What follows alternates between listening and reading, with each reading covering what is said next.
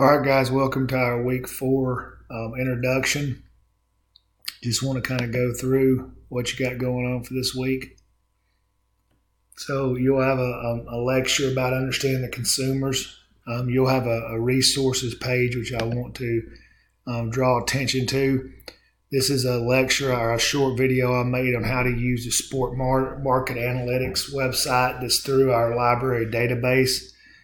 so, it's something you might want to see. You'll have a graded discussion. And then I want to spend some time talking about your assignment two, guys. So this is going to continue with what we had in assignment one. So you're going to develop a presentation that addresses the following.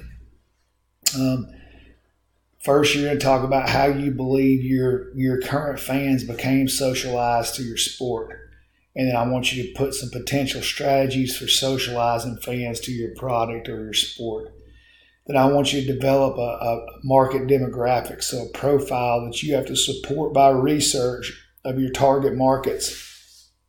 And so you should ideally develop um, about th- anywhere from three to five target markets. And so you want to address um, your state of being, so your demographic profile, product usage segmentation, why you think people um, consume your product and you can use sport, market analytics for the most part for most of you to be able to support this with with, with uh, research. And then i also want you to talk about how could you or how would you collect data um, uh, to learn more about your fan and what methods would you use to get that data uh, given the budget you have to work with. So the goal of this assignment is basically to come up with a profile of who your current consumers are so you could come up with three to five target markets.